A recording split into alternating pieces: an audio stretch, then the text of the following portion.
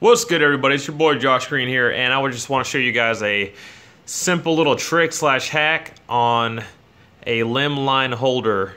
Now I just went out to Lowe's, bought this two foot long little plastic tube, real cheap,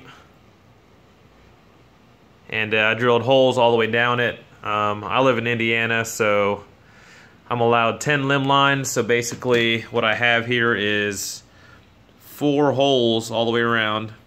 That'll be for one limb line. This will be for two, three, four, five, six, seven, eight, nine, ten.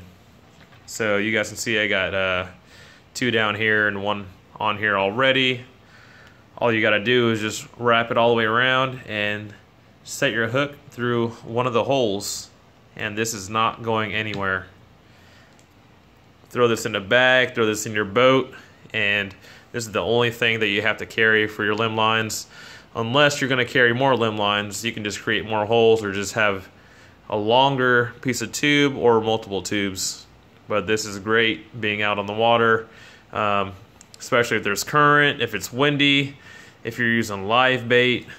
I mean, just anything really.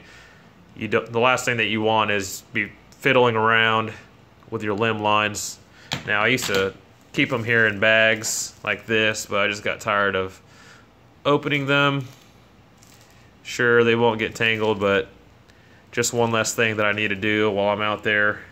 Now all I got to do is just carry this, and that is it. You guys like this little uh, trick slash hack? Subscribe to my channel, and thanks for watching.